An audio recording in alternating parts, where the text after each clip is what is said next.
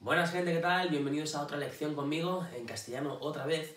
Hoy os voy a enseñar un poco a cómo usar esas terceras mayores que no se sabe muy bien por qué no se usan tanto, tanto en blues como en rock, y vamos a ver cómo hacer que vuestro fraseo suene un poco más... Eh, un poco más especial, ¿no? Vamos a decir. Vamos a ello. Bueno, pues si tocamos un blues en Do, por ejemplo, el primer acorde que vemos sería este. ¿Vale? Como veis es un Do-7. ¿vale? La primera escala que todo el mundo toca es la pentatónica menor, que es esta.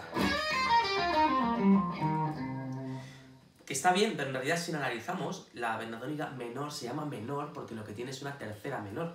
El acorde, sin embargo, tiene una tercera mayor, si lo vemos.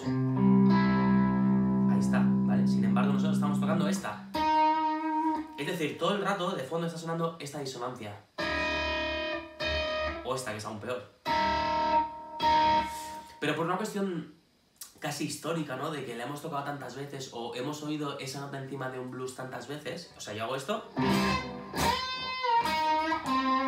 Y no me suena mal, ¿no? Sin embargo, en el papel sí que estaría mal, ¿no? Y la nota que deberíamos utilizar es la tercera mayor, que es esta.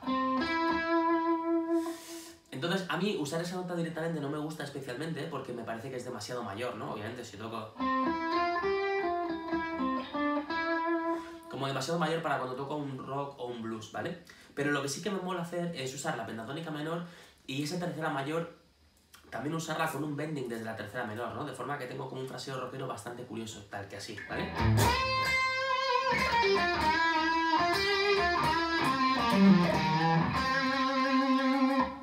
Si lo veis lo que hago es buscar esa nota, ¿no? Cada, tercera menor que tengo...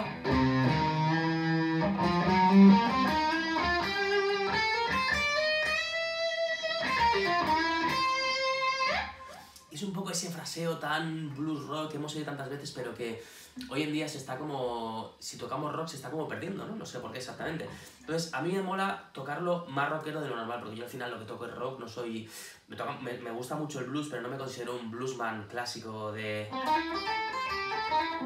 de ese tipo de fraseo, ¿no? Soy más rockero. Entonces lo que hago es, esa nota la marco muchísimo y con un buen vibrato, ¿vale? Empiezo con pentatónica menor y luego le doy la nota que es como enseguida suena.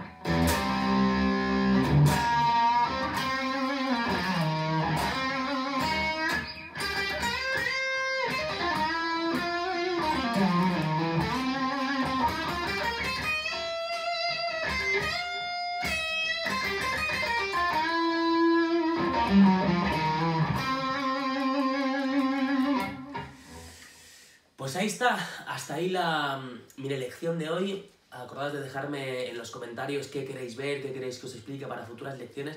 Voy a intentar subir eh, más a menudo porque subí una hace más de un mes y voy a intentar subir una por lo menos cada dos semanas, es decir, subir dos al mes para tenernos un poco más informados y más al tanto. Y nada, suerte con esto y keep rocking.